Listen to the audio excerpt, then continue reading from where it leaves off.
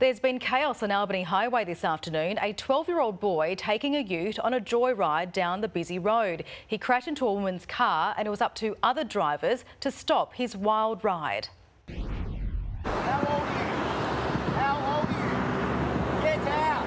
A traffic jam on Albany Highway caused by a 12 year old boy, and a woman comes running. Get out of the car! Stop the car! Be careful! He is the boy behind the wheel of the white ute.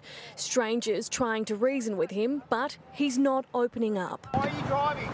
Get out of the Get car! out! You will Pardon? kill someone! Get out! Jaden Higgin filmed this video. He couldn't believe what was happening. I thought it was just, you know, normal road rage. And um, yeah, after getting in front and looking in my mirror, I see that it's this little kid cowering in the front seat. The chaos unfolded around half past three this afternoon here at the intersection of Armadale Road and the Albany Highway. The entire right lane ground to a halt for minutes. It's okay. It's okay, mate. Just turn the car off.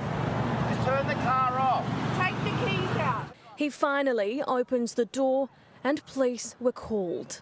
He was shaking, he was crying. He thought he was going to get arrested. Right now, the boy is in custody. What led to his wild joyride is under investigation. Mia Edgerton Warburton, 9 News.